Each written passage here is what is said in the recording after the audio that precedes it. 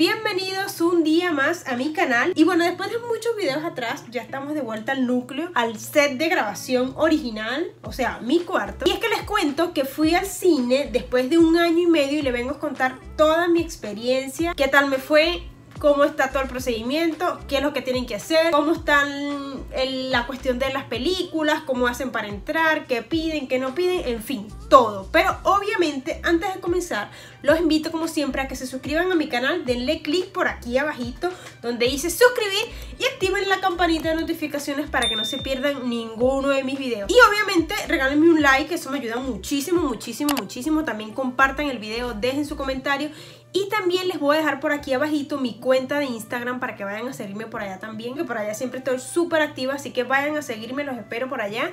Y bueno, nada, ya dicho esto, ahora sí, vamos a comenzar.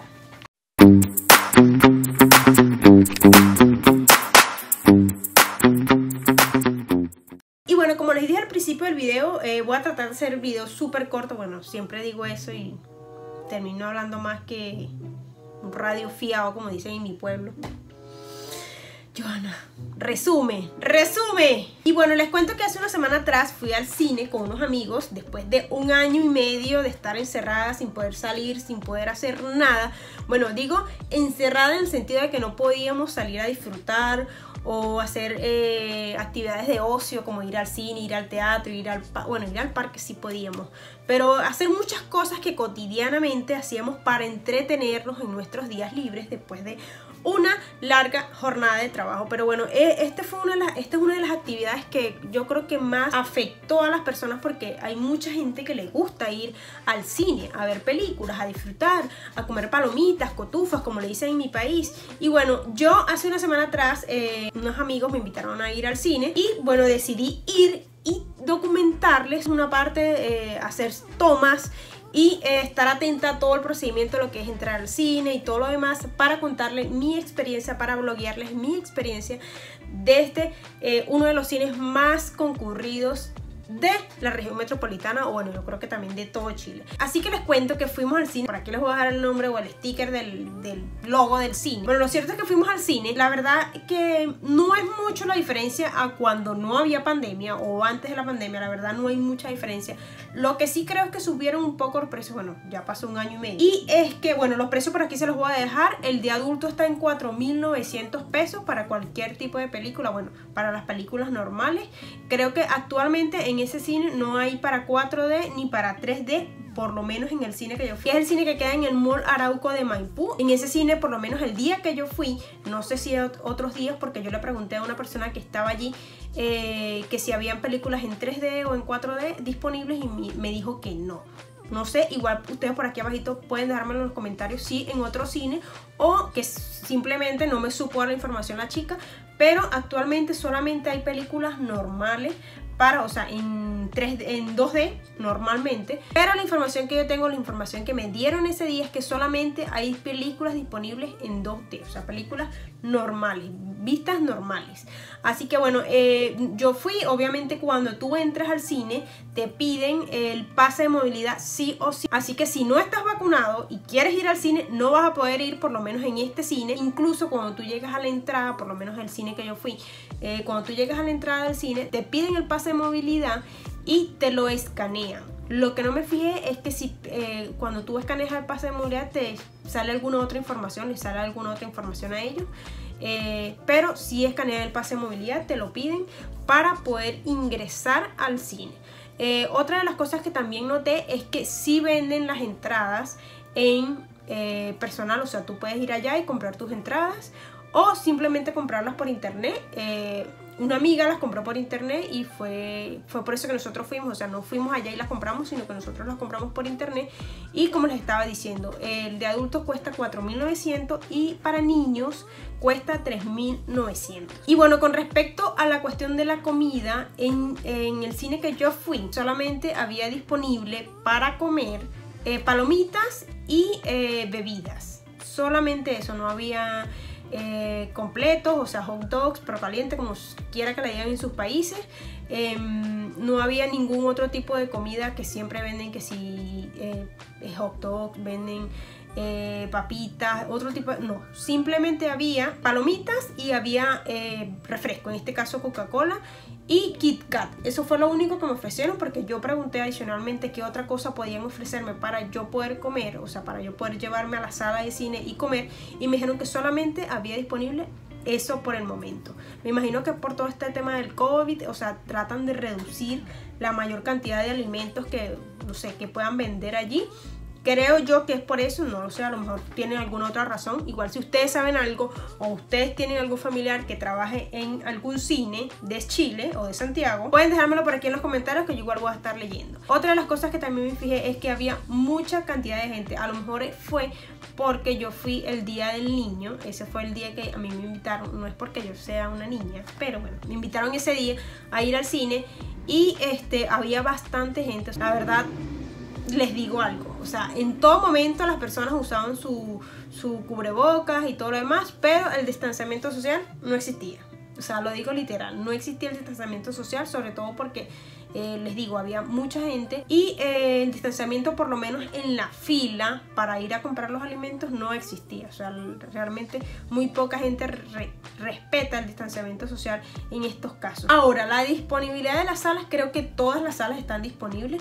O sea, hay bastante, o sea, no es que tú vas a ir a comprar la entrada y ya no va a haber y todo lo demás. Yo creo que sí hay bastante cantidad de salas funcionando para ver películas, pero les aclaro nuevamente, creo que solamente, creo porque fue una información que me dio una de las chicas que trabaja ahí, solamente hay películas disponibles en 2D. Otra de las cosas que también me fijé y que es muy muy importante y que me pareció súper genial, tú entras a la sala, obviamente, aunque ya estaba anunciado de que tenía que entrar una cierta cantidad de gente a la sala, bueno, te das cuenta de que sí lo están aplicando. Y esto lo digo porque a veces se anuncian muchísimas cosas o se, eh, se deben de aplicar muchísimas normas que al final no las aplican. Pero en este caso, el cine sí lo está aplicando, por lo menos al cine que yo fui, eh, te ponen... Em, o sea, ponen, por ejemplo, si tú vas a comprar dos entradas, pones las dos entradas eh, de los asientos juntos y te dejan un asiento vacío y ahí va, eh, luego sí va a estar los dos, otros dos puestos disponibles, después un asiento vacío,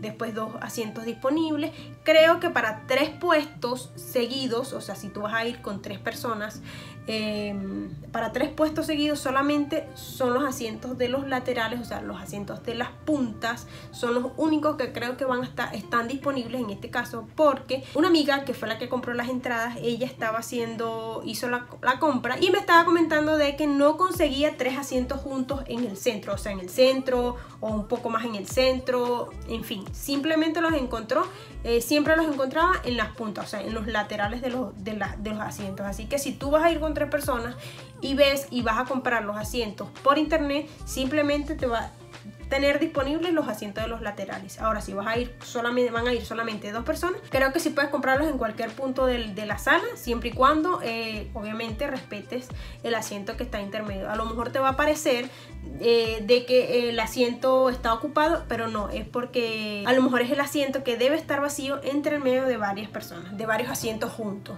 Entonces es una, una de las cosas que me gustó muchísimo porque eh, la gente lo respeta, sobre todo que la gente lo respeta, eh, al momento de entrar al cine siempre dejan su espacio, su, asiento vacío para poder entrar las otras dos personas y todo lo demás. O sea, eso me pareció genial eh, y que la gente que va al cine lo respete porque es importantísimo. Igual después de todo este tiempo y de que ya el, más del 80% de la población ya está vacunada, que nos cuidemos y nos sigamos cuidando. Obviamente dentro de la sala, esto también es importante, puedes comer lógicamente, porque si compraste algo para comer, lo puedes comer, pero eh, la regla, cuando tú vas a entrar al cine, te dicen que debes comer, eh, bajarte el cubreboca, comer, o sea, ingerir algo y ponerte el cubreboca otra vez. Generalmente es lo que se debe hacer, o sea, es, es el deber ser. Pero eh, me di cuenta, incluso yo también lo hice porque es bastante fastidioso, o sea, estar comiendo y ponerse el cubreboca, bajártelo, o sea, es bastante fastidioso que la mayoría de la gente que estaba ahí, me incluyo, que simplemente nos bajábamos el cubreboca, comíamos por un, no sé, por unos minutos y ya nos volvíamos a subir el cubrebocas y y esperábamos unos minutos y así.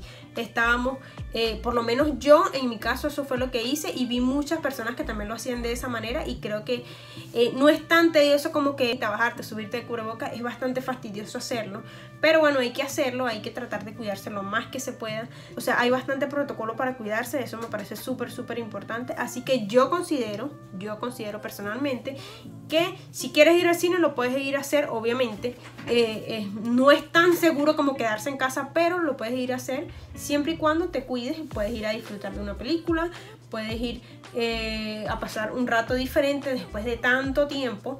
Eh, yo pensé que iba a haber un poco más de protocolo en cuanto a la entrada, en cuanto para comprar entradas, eh, o sea, iba a ser un estrés, pero no, la verdad que no, la verdad que nosotros compramos las entradas como de dos días para cuando lo íbamos a comprar, creo que lo compramos el viernes y fuimos el domingo. Y bueno chicos, en cuanto al horario para entrar al cine, normal, como, como siempre, hasta las eh, creo que hasta las 7 de la tarde es la última película, 5, 6 de la tarde, algo así.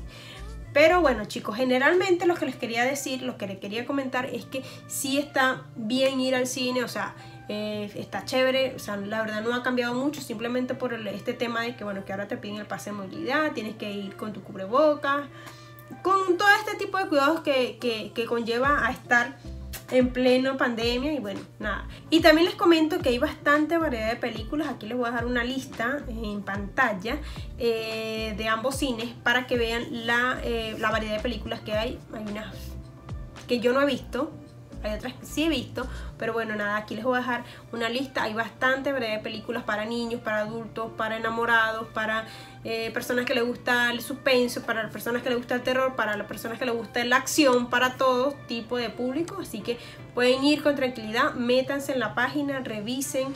Eh, por allí pueden hacer todo, sin, o sea, simplemente llegar y, entrar al cine y comprar sus palomitas, sus cosas y entrar a disfrutar del cine. Así que no pierdan esta oportunidad, salgan, disfruten, distráiganse, que eso es súper, súper bueno para, para uno mantenerse de, buen humor, de, con buena energía, con buena actitud. Esa fue mi experiencia personal. A lo mejor otro día fue otra forma o en otros cines de otra manera, en fin. Pero creo que eh, aplican lo mismo en todos los cines, no lo sé, pero bueno. Eso están ustedes que vayan a ver. Simplemente les digo que sí o sí en todos los cines están exigiendo el pase de movilidad. Eso sí no hay quien lo cambie. Eh, así que si no te has vacunado, te repito, si no te has vacunado y quieres ir al cine, tienes que vacunarte para que puedas sacar el pase de movilidad porque sin eso no vas a poder entrar. O sea, no vas a poder entrar, quieras, brinques, llores, patales, eh, o sea, hagas lo que hagas, no vas a poder entrar. Así que bueno, mis amores, hasta aquí el video de hoy. Eh, ya saben lo que tienen que hacer. Compartir este video en todas sus redes sociales, suscribirte si no estás suscrito, regalarme un like si te gustó este video y si no te gustó también regálamelo porque bueno, Ustedes son los que me animan, ustedes son los que me impulsan a seguir haciendo videos. Bueno, nada, cuídense mucho, pórtense bien y nos vemos en los próximos días con un nuevo video. Chao, chao.